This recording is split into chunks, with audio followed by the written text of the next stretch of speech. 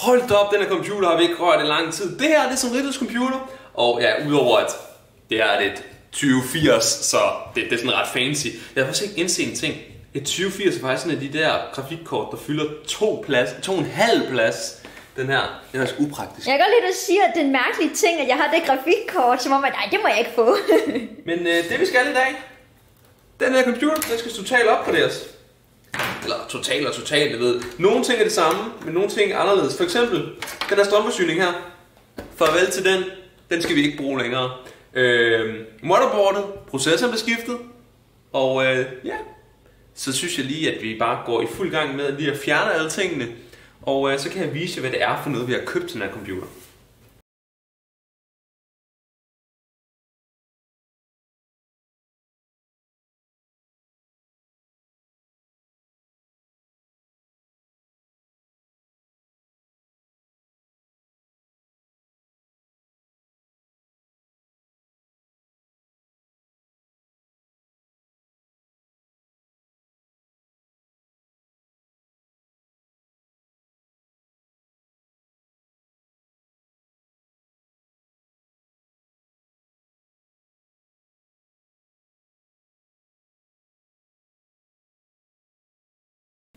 Godt, så er computeren helt støbt. der er intet tilbage, og alle skruerne ligger her klar til at få sat noget nyt i. Og øh, en ting er, at vi lige kan udnytte nu, hvor den alligevel er skilt så meget ad, det er, at vi kan få rengjort alle tingene. Fordi prøv lige at se sådan noget som den her køler for eksempel. Prøv at se, hvor beskidt den er. Der kan se det. Prøv at se, hvor beskidt den er. Og det er altså mange steder. Så den her computer her kan vi gå i fuld gang med at rengøre over det hele. Og øh, ja, så kan vi gå i gang med at sætte de nye ting i, som jeg selvfølgelig viser lige om lidt. Så rengøringstid. Så er den rengjort blevet meget, meget pænere, og det hele er klar til at få deres nye dele i sig. Så, hvad har vi købt? Strømforsyning, der har vi ikke cheaped out. Vi har købt en EVJ Supernova G2. Nogle af de bedste strømforsyninger, der er. Det er skide gode, dem her. Og øh, ja, den 650 watt, fordi det er meget tæt på sådan cirka halvdelen, eller cirka det dobbelt af, hvad sammen vi skal bruge, men det er som regel det gode spot, du skal sigte efter. Så har vi også 32 GB RAM, så ja, det ved godt, Nå, rummen har ikke brug for mere end 16, men, men du ved, Photoshop-dokumenter sammen med, at har åbnet nogle gange, kan hurtigt bruge, er det sådan, jeg tror, jeg har set noget bruge, der var 8 GB RAM før, bare med et Photoshop-dokument, så kan man godt regne ud, ja, yeah, it's good. Så har vi et MSI øh, motherboard her, sådan et, øh, et øh, Z370 motherboard, og øh, det er sådan en Gaming Plus, whatever, det ved, hvad er man nu lige kan få? Altså, det, det er bare fordi, vi vil gerne have en setter, fordi at vi nemlig har mulighed for overklokken på den processor, vi har købt. Og der er ikke nogen specifik grund til, at vi har valgt den her, der motherboard faktisk. Det, mere, det her kabinet her er ikke synligt, så vi har ikke gået efter noget med RGB og så videre. Det er faktisk også, ja, sådan et, vi gik egentlig faktisk bare efter det, der havde mulighed for øh, M2 storage, og samtidig med at have mulighed for at bruge den processor og overklokken og så videre. Så det var egentlig mest det, der var tankeprocessen bag den her. Og til sidst skal der jo noget i motherboardet, og der kunne vi jo have gået efter en i5 76 eller 8600K. Man kunne også gået efter de helt nye 9000 serie, men ærligt talt, de nye 9000 er meget dyrere end de gamle 8'ere, og det er sådan lidt, jamen, så meget er forskellen faktisk ikke. Så vi er gået efter en gammel 8700K. Det er en øh, 6-kernet med 12 threads, og ja, man kunne godt have givet det ekstra, og så fået en øh, 8-kernet, men ærligt talt, de ekstra to vil ikke gøre den store forskel for Samrita. Så vi gik efter en 8700K. Der var ingen grund til at vente til en øh, 9700K. Det, det var der simpelthen ikke grund til. Så øh, ja, vi starter bare nok med at smide øh, strømforsyningen ned i, eller motherboardet. Det ved jeg ikke rigtigt, hvad vi gør. Måske motherboardet først, det kan godt være, være fint nok. Oh my god, Robin, du bruger ikke sådan en strap på din hånd. Kommer det til at sappe det hele? Nej, jeg har aldrig nogensinde dræbt noget som helst med, med elektrostatisk sap, og især ikke når det er så integreret som det er her.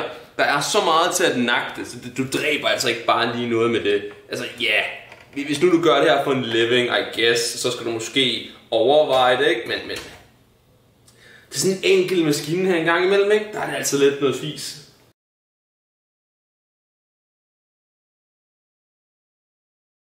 Men som sagt, der er ikke nogen specifik grund til, at jeg har valgt det her motherboard egentlig. Det, mener, det eneste, jeg lige kiggede efter, det var, har du mulighed for M2? og en M.20, som der jo hedder. og øh, ja, yeah, så var det egentlig faktisk bare, at, øh, at resten var fint. Jeg har faktisk ikke øh, haft så mange krav til det igen, og nej, jeg er ikke sponsoreret af MSI, eller nogen som helst af de andre brands i den her computer her. Altså, det ville være nice. Jeg vil ikke sige, jeg vil ikke sige, øh, jeg vil sige, jo, jo tak, hvis øh, jeg fik tilbud, men øh, nej, jeg er ikke sponsoreret af nogen som helst af dem. Så alt er købt af egen penge og af egen grund i den her computer. Ej, åh, se, se, det er ikke, det er så dejligt, når det her er så dejligt, når de gør det, at de inkluderer et USB-stik. Eller USB 3.0 connector. Der er skæv. Det er bare så svært at sætte i nogle gange. Ah! Really, man bliver næsten nødt til at gøre sådan her, ikke? Det ødelægger lidt det pæne ved det, men... Øh, ellers er det næsten muligt at sætte den i.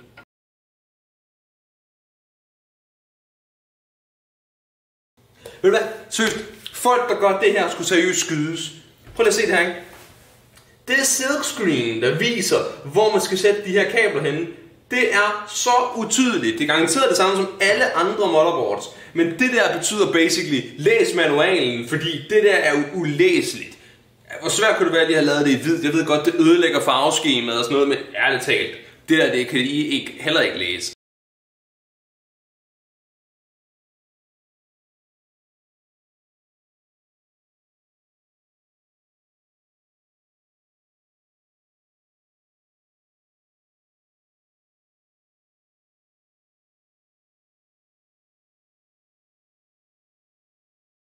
Skal vi lave den helt dyre? Det er den her, guys, hvor alt kan gå galt. Det er den, hvor vi lige kan ruin et uh, motherboard til 1000 kroner. Kan lige er bare helt sådan, hvad? Hvad? Hvad snakker du om? Ødelægge motherboard til 1000 kroner? What? Og uh, det er den jo en farlig idé. Jo, nej, nej, nej. Det er faktisk det, som de fleste folk er bange for at fuck op på et motherboard. Og jeg vil sige, det er også den... Der er mange, der er bange for at samle sig en computer, og bange for, at åh oh, nej, ødelægger jeg den. Og ved du hvad? Ærligt talt, den eneste del, du faktisk skal være nervøs for, det er den del, der gør nu. Det er her, det hele meget nemt kan gå galt. Men ærligt talt, det, det er ikke engang særlig svært. Er I klar til at se, hvor nemt det er? Det er processoren. Det her, det er socketen. Og grunden til det, det er farligt, det er fordi, der ligger over 1000, jeg mener, det er 11, 11 til 151, hvis jeg ikke husker helt forkert, pins, der ligger i den her. Det er virkelig, virkelig mange. Og øh, hvis der er en af dem, der går i stykker, kan du være heldig, det stadig virker, men du kan meget nemt have, at det er en vigtig pind. Så det du gør, det er, at du løfter den her op. Kan du se, nu har vi den her nede. Jeg ved ikke, om I kan se det. Så det vi gør, det er, at vi bare placerer den her lige så stille og roligt nede i. Sådan der. Ikke noget med at skubbe eller noget lige nu. Så tager vi den her ned igen. Den her. Ligger den under. Gør sådan her. Så popper den der af. Det er nemlig også en meget typisk ting. Mange folk tager den her af, og det gjorde jeg også selv, indtil man finder ud af, Nå, det behøves du ikke. Den popper selv af. Så gennem det her låg her, hvis du nogensinde skal sælge motherboardet separat, så har du låget. Det er vigtigt. Jamen, øh, det ser jo rigtigt ud. Så den er installeret. Det var det aller, aller værste ved at, lave, med at samle en computer. Det er lige done der. Så det er ikke så slemt igen. Det er også lidt, man kan godt se, at det er lidt dyrere strømforsyningsspring. De her, de er væsentligt dyre, men de er altså også pengene værd. De, øh, de er rigtig gode, og EVJ har som regel også været rigtig fine med deres garanti.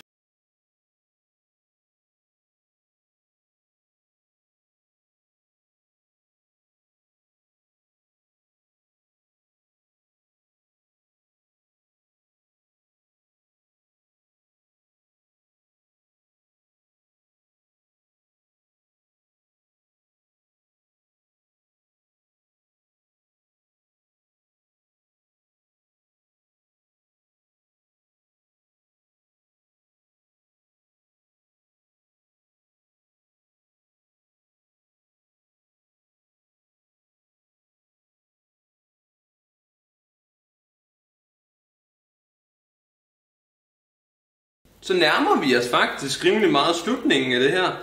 Øh, nok nogen, der tænker, Ej Robin, øh, cable management, øh, det her over, det ligger og flyder. Øh, hvorfor gør det det? Fordi selv det her kabinet her er ikke super godt produceret til, når det gælder lige præcis det, øh, når det gælder cable management. Så øh, den del må I lige øh, lade være med at være sure over, fordi det kan altså ikke gøre så meget bedre.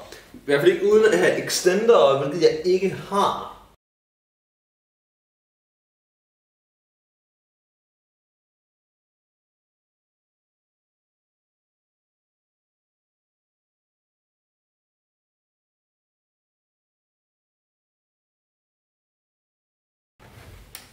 Som sagt, det her kabinet har ikke det bedste cable management. Så du ved, ja, ideelt vil du lægge det her kabel ind under øh, bagpladen, men ærligt talt, det er der ingen grund til at gøre i det her tilfælde. Det, den ligger herover gør absolut ingenting i det lange løb. Øh, faktisk kan vi lige lægge, kan vi lægge lidt af kablet ind her, eller sådan noget, lige for at holde den lidt fast. Men det gør ikke en stor forskel, ærligt talt. Det er det sjove med de her ram, ikke? De her DDR4 ram her, ikke? De er ikke faldet betydeligt meget i pris egentlig. Jeg har, 16, jeg har også 32 GB i min, og øh, det er faktisk ikke fordi prisen på de her DDR4 ram her er faldet ret meget. Det er mere, vi gav 2.000 eller andet, gør vi ikke? 2.200. Jeg gav 3.200 for mange år siden, men jeg har haft det der 4 ram. Jeg, jeg havde en af de der første boards, der brugte det. Så øh, det er lidt sjovt at se, hvordan det nærmest ikke har ændret sig, rent prismæssigt. Der har ofte været folk i kommentarerne, ikke, der undrer sig over, Åh, men hvorfor har du en kanyle på dit bord? Det, det her, guys, det er det, jeg har på mit bord. Det er thermal paste. Det er ikke en kanyle, bare rolig. Eller jo, du må godt, altså, hvis du godt vil prøve at tage det her som stoffer, be my guest, men jeg tror, du kommer til at få en noget så dårlig oplevelse, fordi jeg tror, det er pissegiftigt. Jeg tror nok, hvis du popper det her op i dig, rip dig, jeg tror, det er, det, det, det, er, det er din blodprop. Okay, og hvis nu nogen tænker, åh, men du gjorde det forkert med curlypastaen. Se nogle af de 50.000 af videoer, der fortæller, basically, det er totalt ligegyldigt. Så længe der ikke er for lidt, så er det som regel okay. Men mere for meget gør ikke den store forskel, og ja, hvordan du spreder det osv., det gør heller ikke en helt stor forskel. Og nu skal man huske, det er en 8700K det her.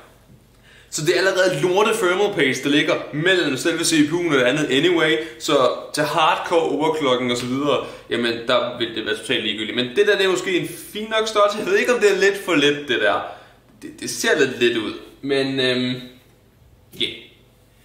Så må vi jo skifte den under, skifte senere, hvis nu den kommer til at give nogle mærkelige temperaturer.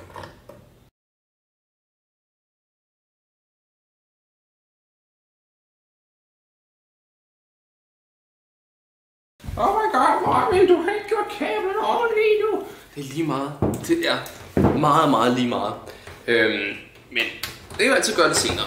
Det, det er der ingen grund til at gøre det nu. Som sagt, det er det heller ikke nogen show-off-computeren her. Det er det en, som der har lukket kabinet-sider, så who cares i sidste ende, om den er lige så pæn, som den kunne være.